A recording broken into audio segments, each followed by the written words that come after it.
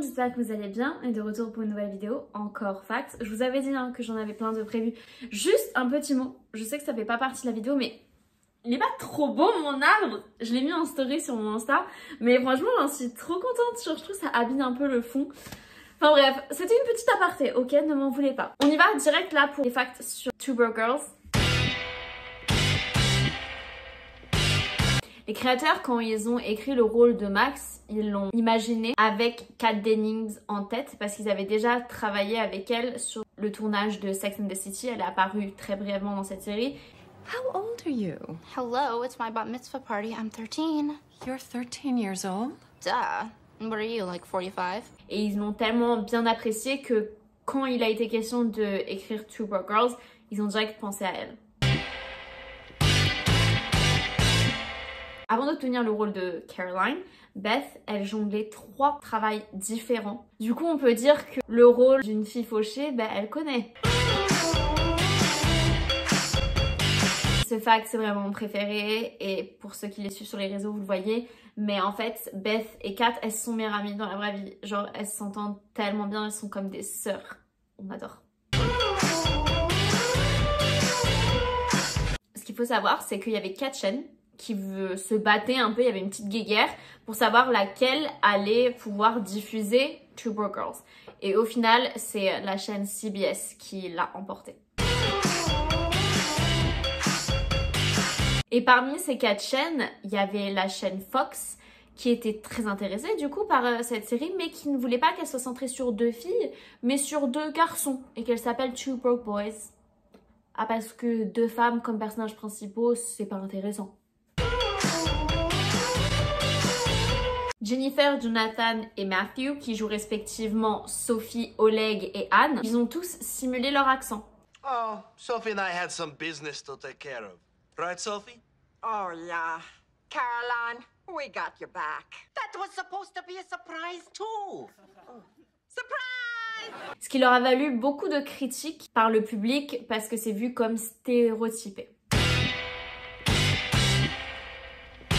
Et d'ailleurs, Matthew, comme j'ai dit, qui jouait Anne, et Anne qui a des origines coréennes, en réalité, Matthew a des origines chinoises et ça leur a valu encore une fois des critiques du public parce que c'est pas une bonne représentation du pays.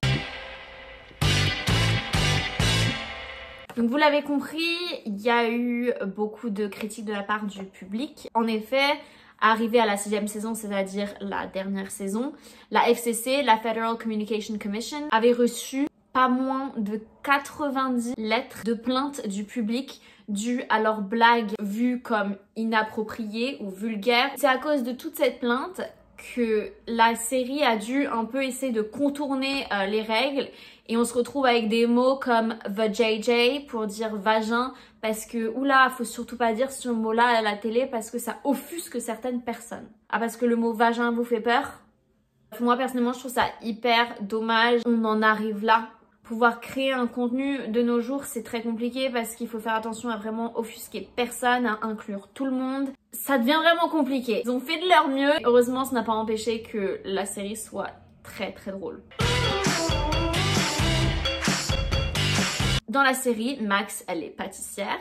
Hey girl! Et il faut savoir que l'actrice Kat, elle a réellement appris à glacer des cupcakes pour que les scènes soient réelles. Donc quand on voit Max glacer des cupcakes, elle est réellement en train de le faire. Elle voulait que les scènes aient l'air plus vivants et plus réelles.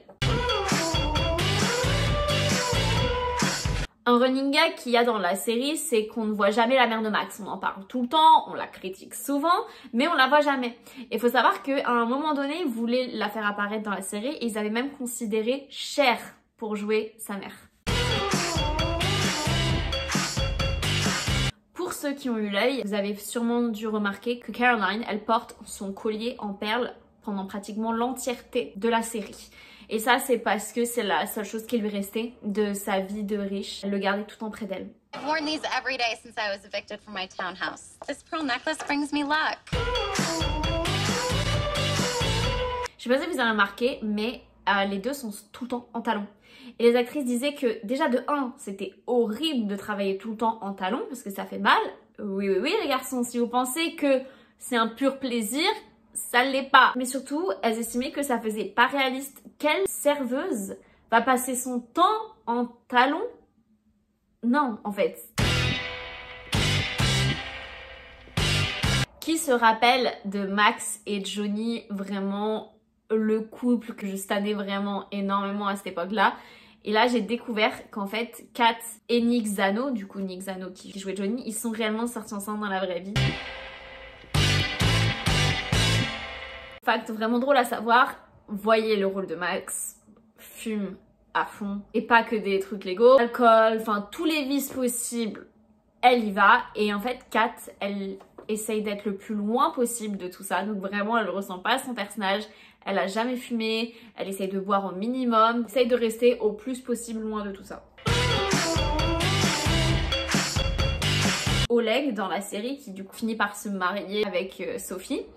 Faut savoir que Jonathan qui joue Oleg, il a 18 ans de moins que Jennifer. Vous allez me dire ça choque personne parce qu'ils ont dans la quarantaine, mais il y en aurait un qui avait 18 ans et l'autre 36. Je pense que ça ferait jaser un petit peu. C'est fini pour les facts sur la série Two Broke Girls. Je sais pas si vous connaissez cette série. Je des vidéos facts sur les séries déjà parce que c'est des séries que moi j'aime bien, mais aussi si ça peut vous donner envie de regarder ces séries parce que moi je les ai appréciées. Franchement c'est le but. Et en plus elle est vraiment très très drôle comme série, elle, est au maximum sans filtre malgré toutes les plaintes qu'ils ont pu avoir. Ça fait encore une fois partie des sitcoms qui me font du bien, mais parce que les sitcoms de manière générale je trouve que c'est toujours très bonne ambiance, c'est toujours très bienveillant, c'est toujours très drôle et ça fait du bien. Donc euh, voilà, franchement, allez la checker cette série si vous ne la connaissez pas, si vous la connaissiez. Et bah, j'espère que je vous ai appris quelques petits facts. Avant que vous partiez, mettez un petit j'aime à la vidéo et abonnez-vous si c'est pas le cas. Et moi, je vous dis à une prochaine fois pour une autre vidéo, les gars. Bye